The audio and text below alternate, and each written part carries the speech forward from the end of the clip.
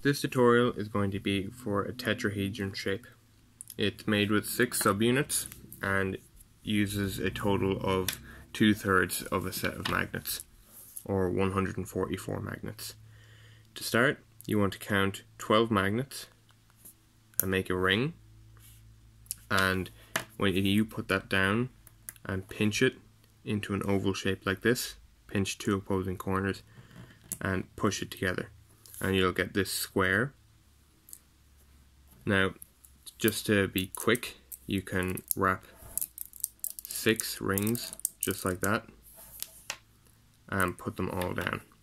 Break it apart and put them all down and make sure that none of them get flipped over the wrong way like that. So you break it off and put them down in the same way. And you want to pinch these all into that square shape like that.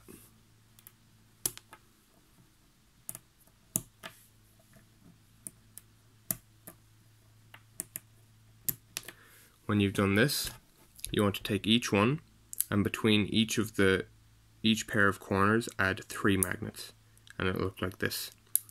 And you want to go around and do that to each side and you'll end up with this kind of wavy square.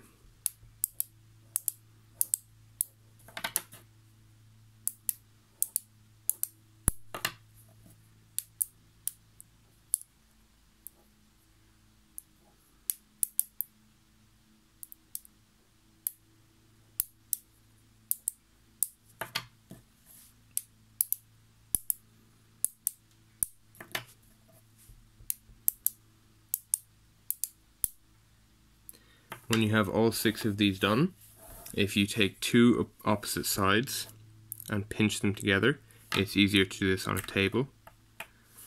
Um, I'll try and get this. You want to just pinch two edges together like this until you end up with this kind of shape. And you want to do that with all six.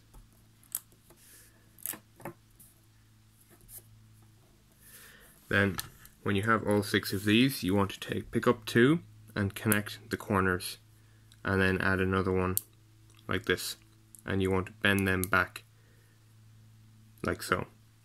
Then for this corner and this corner, you want to connect another of these subunits and between each pair you want to go around and add it add another one on until you have all six connected like this and then you can connect all of these together. And you'll end up with this kind of bubbly flexible tetrahedron shape. And if you look at one edge you can push like this. The edges in and connect them together. And you want to do this for all six.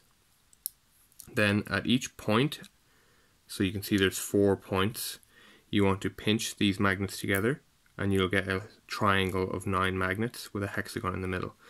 And you want to go around and do that for all four. Just like that.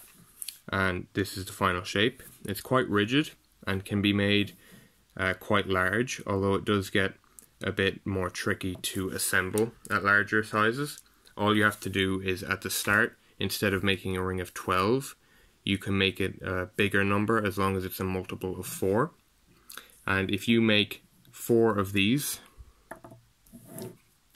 you can connect them just like this. And put this last one on top. And you'll have this little pyramid of tetrahedra, which I think looks quite nice. I'll try to get a good shot of it for you. As you can see, it does look quite nice. But each tetrahedron separately takes two thirds of a set. So um, this shape would take exactly two, four, six, eight, two and two thirds of a set of magnets.